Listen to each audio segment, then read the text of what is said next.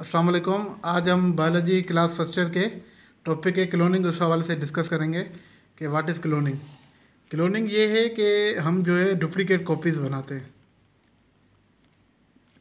Duplicate copies बनाते हैं genetic material से।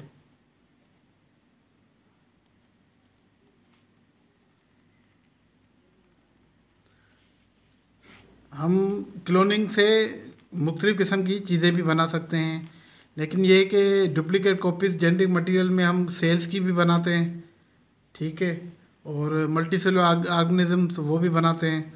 लेकिन ये कि ये दो किस्म की होती है क्लोनिंग एक होती है नेचुरल और एक होती है आर्टिफिशियल अब नेचुरल के बहुत सारे मिसाल होते हैं, जैसे कि आइडेंटिकल ट्विंस हो गया। आइडेंटिकल ट्विंस आपको पता है क्रोम जो बॉडी में होते हैं ट्विंस होते हैं, एक ट्रिपलेट भी होता है। तो ये भी एक क्लोनिंग का एग्जांपल है। और प्लांट के अंदर इसका मिसाल ये है कि आप जैसे असेक्शुअल रिप्रोडक्शन है, वो भी इसका मिसाल है। और रीजनरेशन भी है।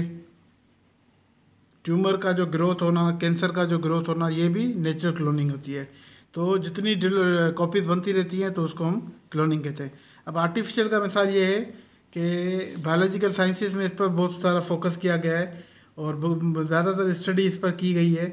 डोली एक शीप थी, उसको डेवलप किया गया था, हम सोमेटिक सेल से। हमने अपने जिसम से जो सेल्स होते हैं सोमेटिक उसमें twenty three pairs of chromosomes होते हैं।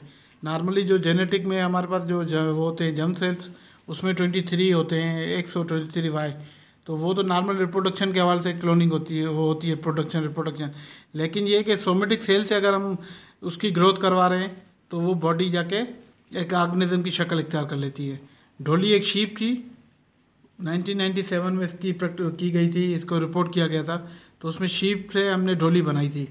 तो ये एक आर्टिफिशियल क्लोनिंग का एग्जांपल है। What is cloning cloning is a duplicate copy the genetic material अभी क्लोनिंग का ह्यूमन सेल्स पर भी ज़्यादा इस्तेमाल हो रहा है। मुख्तलिफ़ किस्म की डिज़ीज़ हैं, जैसे डायबिटीज़ हो गई लिवर फेलियर हो गया, और किडनी का हो गया फेलियर तो हम क्लोनिंग के थ्रू मुख्तलिफ़ किस्म की चीज़ें बना सकते हैं अपनी लेबॉडी के अंदर।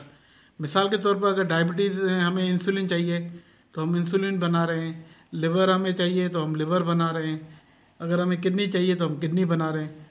तो ये कि हम उस आर्गन को सेल से लेते हैं और उसकी ग्रोथ करवाते हैं। तो यही क्लोनिंग हो गया और इंशाल्लाह आपको ये समझ में आ गया होगा टॉपिक